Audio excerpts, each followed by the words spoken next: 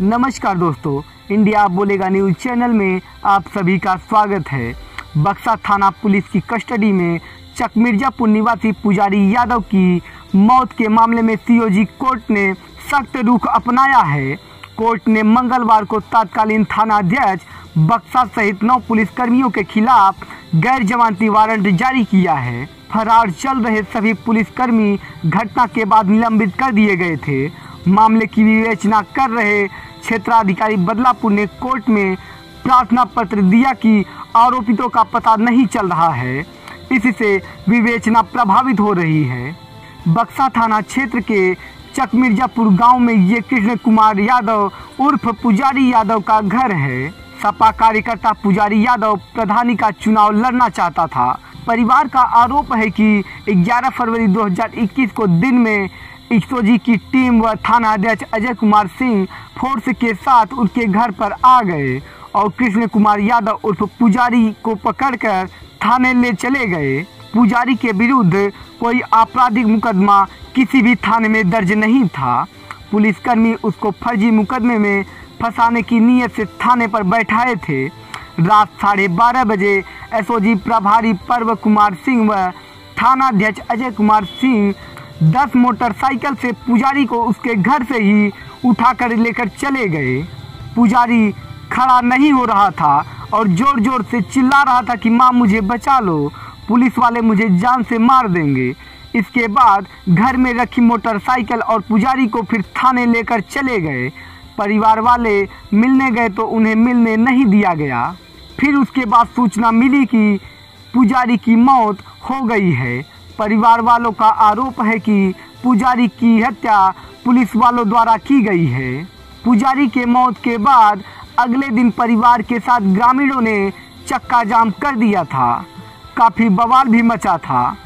12 फरवरी को इस हंगामे के बाद पुजारी यादव के भाई अजय यादव की तहरीर पर एफआईआर दर्ज हुई। इसमें आरोपित बनाए गए तत्कालीन थानाध्यक्ष अजय कुमार सिंह, एसओजी प्रभावी पर्व कुमार सिंह, कांस्टेबल कमल बिहारी बिंद, जितेंद्र सिंह, राजकुमार वर्मा, श्वेत प्रकाश सिंह, राजन सिंह, जयशील प्रसाद तिवारी, अंगद प्रसाद चौधरी। घटना के बाद सभी को निलंबित कर दिया गया।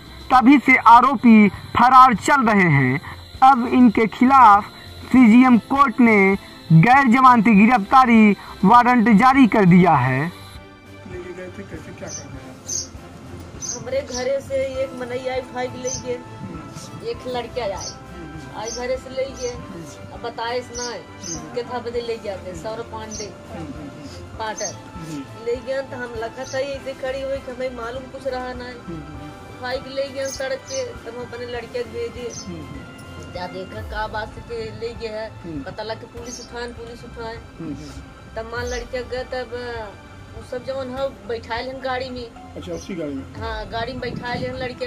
अभी फिर कहा कहा कि जब सारे जवन है उ प्रधानी लड़बे।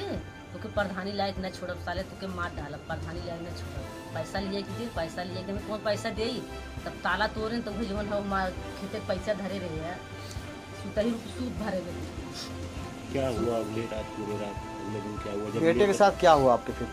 हाँ तब वहाँ तो लूट पाट के आठ बजे लेके गए ना। आठ बजे लूट पाट के कुल लेके गए। तो बारह बजे हमारे बेटे के लेके आए। बारह बजे हमारे लड़के के लेके आए हम रात भर सूती जा रहे ये सब मार बतो तो सब जगह महू रहे ये बैठी है हमके कहा था तोर लड़के लेके आए है पैसा दे। हमके कहाँ बा हमार लड़के जा लेके आओ हमार लड़के कहाँ लेके आवत है तो मेरे लड़के को वैसे पकड़ के चूर के गिर रहते गिर बाहर तक तरह खाए है घर रहते घर रहा तो वैसे लेके आए मेरे लड़के के।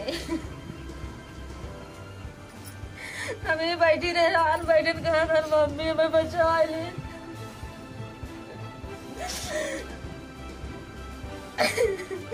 हम ऐसे ही अपने लड़के के लेके बैठे अच्छे लेस फिर दोबारा लेके घर आएँगे फिर हम वही दौड़ी गए।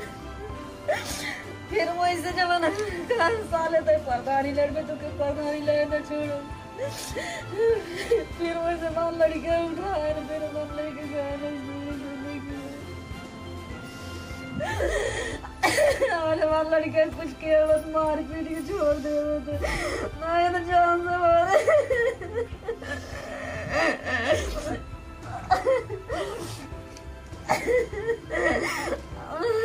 हाय ले गए तब अच्छा लेके गए तो बारह बजे रात हमारे लड़के लेके आए तो मंदिर लगे गाड़ी खड़ी कही के भाई की रे रात के सूती जाए आए माल लड़के बाबा, लड़के कोरा पकड़े रहे हमारे लड़के कोरा में से मेरे लड़के छीन ले गए मतलब आपका ये सीधा सीधा कहना है कि पुलिस वाले ने आपको आपके बेटे को घर से उठा कर ले जाकर हाँ हमारे घर हाँ हमारे घर से उठाए ले गए हत्या कहीं कर दिया? मतलब आज जो कोर्ट में अभी अ, थाना बक्सा अंतर्गत एक युवक की पुलिस अभिरक्षा में हत्या हो गई थी। उसके संबंध में क्या कोई आज आदेश उदेश कोर्ट से पारित हुए? हाँ ये 11 फरवरी 2021 का मामला है। अजय कुमार यादव चक मिर्जापुर। बक्सा के रहने वाले हैं। इनके आरोप है कि इनके पुलिस के कुछ लोग जो है एसओजी और एसओ बक्सा और तमाम अन्य पुलिस वाले आए। इनके भाई कृष्ण कुमार यादव और पुजारी को उठा ले गए और लूट वगैरह भी किए। तो इन्होंने एफआईआर दर्ज कराई थी एसओजी के खिलाफ एसओजी के और एसओ बक्सा के खिलाफ और तमाम अन्य हमराइयों के खिलाफ तीन सौ दो तीन सौ चौरानवे चार सौ बावन पाँच सौ चार। मैंने लूट और हत्या की एफआईआर दर्ज कराई थी। तो उसी के संबंध में आज एक आदेश हमको जानकारी हुई। कोर्ट में काफ़ी चर्चा भी इसकी थी। सीजीएम ने एक आदेश किया है कि इसमें विवेचक आए थे, इसमें क्षेत्राधिकारी बदलापुर विवेचक हैं। ये कोर्ट में आए थे, एक एफिडेविट दिए और प्रार्थना पत्र दिए। और उसमें उन्होंने ये कहा कि ये जो मुलजिम है, इसमें विवेचना में ऐसा था कि तीन लोग के खिलाफ एफआईआर हुई। और विवेचना में नौ लोगों का नाम प्रकाश में आया। पर्व कुमार सिंह, अजय कुमार सिंह, कमल बिहारी, जितेंद्र सिंह, राजकुमार वर्मा, ये करके करीब नौ लोग हैं, पुलिस से ही जुड़े हुए लोग हैं।